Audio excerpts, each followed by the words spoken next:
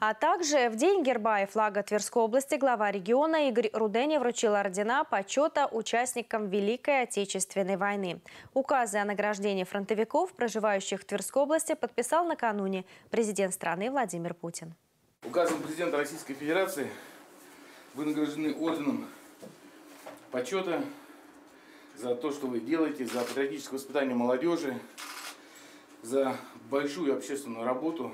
Имя Ивана Евгеньевича Кладкевича знакомо, пожалуй, каждому жителю Тверской области. Участник Великой Отечественной войны, он участвовал в боях на Ржевско-Вяземском плацдарме. Первое боевое крещение получил в январе 43-го, награжден орденом Красной Звезды. После войны по сегодняшний день занимается патриотическим воспитанием подрастающего поколения. Иван Евгеньевич подарил губернатору свою книгу «Гвардии рядовой Великой Отечественной» с автографом. В ней собраны воспоминания ветерана о войне, значимых встречах и событиях, фотографии, статьи Ивана Евгеньевича. Планируется, что экземпляры будут переданы в школы Тверской области. История, как мы росли, учились, работали и защищали Родину, это единственная книга.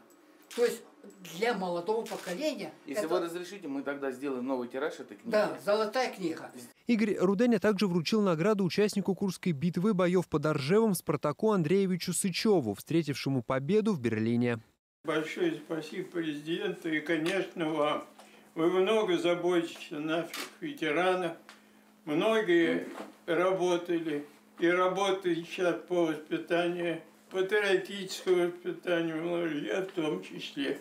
Губернатор передал государственную награду Антонине Филипповне Гордеевой. На фронте она была медсестрой и спасала жизни бойцов, освобождавших Белоруссию и Прибалтику. Все фронтовики, удостоенные государственных наград, принимали участие в церемонии открытия Ржевского мемориала советскому солдату 30 июня этого года. Большая честь по поручению президента России лично передать вам высокую федеральную награду, подчеркнул Игорь Руденя в общении с ветеранами.